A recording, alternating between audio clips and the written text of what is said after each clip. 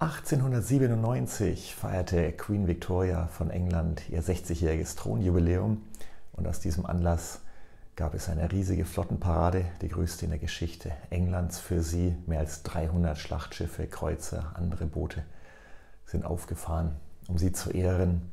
Das Empire sonnte sich in seinem Glück. Man war ja unsterblich und unbesiegbar und so würde es also für immer weitergehen. Ja, und genau das war der Punkt, an dem es dann bergab ging tatsächlich. Nur wenige Jahrzehnte später ist das Empire zerfallen, England war keine Weltmacht mehr und heute sind sie froh, wenn ihnen Schottland und Wales nicht auch noch weglaufen. Wenn wir aufhören, uns weiterentwickeln zu wollen, wenn wir nicht mehr hungrig sind, uns alle Facetten, die zum Erfolg gehören und zu unserer Firma anzusehen, dann treiben wir zurück. Und so wird auch eine Firma, die heutzutage nicht wirklich ernsthaft viel Good Management betreibt, zurücktreiben und vielleicht sogar untergehen. Ist Ihnen das bewusst? Wir sehen heute am Arbeitsmarkt einen Käufermarkt. Wir werden bis 2025 2,4 Millionen Akademiker zu wenig haben. Und die, die es dann gibt, die wollen sie ja bekommen. Und vielleicht können sie nicht die Top-Gehälter am Markt zahlen. Und selbst wenn sie das können, bekommen sie diese Kräfte nicht unbedingt. Da müssen sie schon sehr viel mehr, sehr viel mehr bieten, was mit Work-Life-Balance zu tun hat und damit sich wohlzufühlen. Und das ist nicht das Ende ihres Problems. Die guten Mitarbeiter, die sie schon haben, sind zu oft krank, öfter als sie wirklich krank sind. Sie rufen ihr Potenzial nicht ab. Und die Besten, die sie haben, die verlassen möglicherweise ihre Firma und gehen zu einer, die sie wirklich um sie kümmert. Und dann müssen sie jemanden neuen einstellen. Und so ein Einstellungsprozess und die Einarbeitung kostet sie leicht ein Jahresgehalt, wenn sie diese gute neue Kraft dann überhaupt finden. Und wenn Sie jemanden abgeworben haben, denken Sie daran, wer einmal wechselt, der wechselt auch zweimal. Um den zu behalten, müssen Sie dann eben, wie gesagt, etwas mehr bieten. Ein Feelgood Manager, Feelgood Manager heutzutage ist eine betriebswirtschaftliche Notwendigkeit. Und wie gesagt, wir sehen diesen enormen Wertewandel bei den Menschen. Wir haben einen Wandel von einer Industrie hin zu einer Wissensgesellschaft und wir haben einen enormen Fachkräftemangel.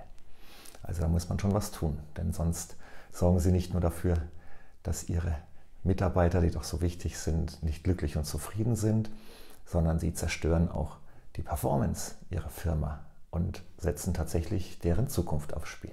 Nicht weniger. Die gute Nachricht ist, das ist vermeidbar. Ein Feelgood Manager, ein guter jedenfalls, analysiert Situationen, er deckt Schmerzpunkte auf, er kommuniziert, er lehrt, wie man miteinander umgeht, kreiert eine Kultur von Achtung und wertvoller wertschätzender Kommunikation und bringt Ihr Unternehmen in eine ganz andere Richtung. Mein Name ist Martin, Martin Hiller. Ich bin ein solcher Wohlfühlmanager.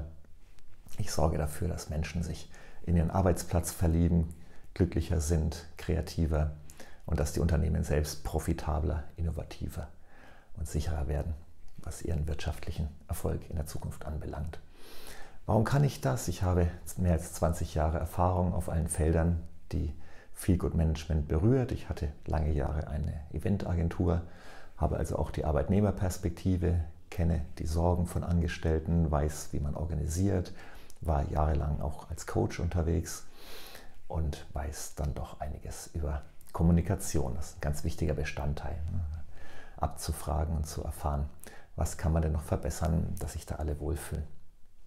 Ich habe mit Unternehmen gearbeitet, mit Einzelpersonen, mit Privaten. Ich habe leitende Manager von KMU unterrichtet, ebenso wie 20-jährige Start-up-Gründer, aber auch lernbehinderte Kinder. Und habe mit all diesen Menschen sehr gerne zusammengearbeitet und bin auch stolz darauf, von denen eine lange Liste an Referenzen bekommen zu haben. Es ist übrigens auch messbar, nicht? selbst wenn Sie nur ein wenig Gesundheitsmanagement einführen, dann hat das schon einen Return of Investment von 4 bis 8. Kann ich Ihnen eine Studie dazu schicken. Und bei einem guten Feel-Good-Management ist dieser noch weit höher, kann man wirklich sagen.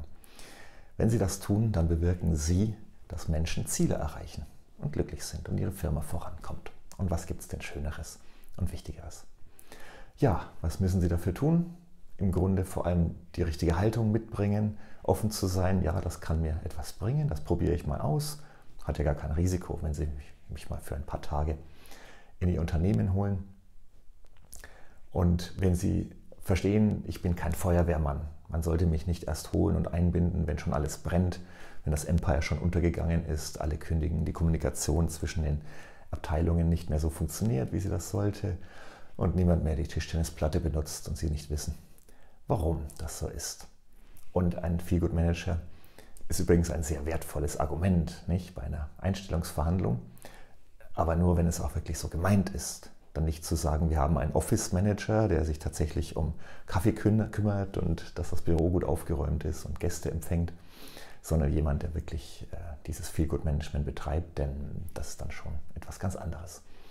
Ja, und dann müssen Sie nur aktiv werden. Melden Sie sich, schreiben mir, rufen mich an. Wenn Sie sich diese Woche noch melden, schicke ich Ihnen ein Paper zu, das ich über Feelgood Management erstellt habe und das nochmal detailliert aufzeigt, was das ist, was es nicht ist, was der Nummer 1 Grund ist, warum Menschen kündigen, was man da tun kann und vieles mehr. Ja, selbstverständlich. Unverbindlich und gratis. Wir können einfach ein Gespräch ausmachen, da treffen wir uns. Ich lege Ihnen nochmal ein paar Möglichkeiten dar. Wir sehen uns Eckdaten Ihres Unternehmens an und schauen, welches die richtige Strategie ist, ob man erstmal nur an ein paar Stellschrauben drehen muss, auch vielleicht um das zu testen oder wie weit wir da gehen wollen. Dann mache ich Ihnen ein Angebot und wir gehen weiter und dann geht's los. Wenn Sie noch ein bisschen im Zweifel und dann überlegen sind, ob Sie das wirklich brauchen, möchte ich Ihnen zum Schluss gerne einen Satz von Reinhard Sprenger mitgeben, dem großen Autor für Management-Literatur. Eine Entscheidung ist keine Rechenaufgabe. Es ist ein Springen durch die Feuerwand des Zweifels.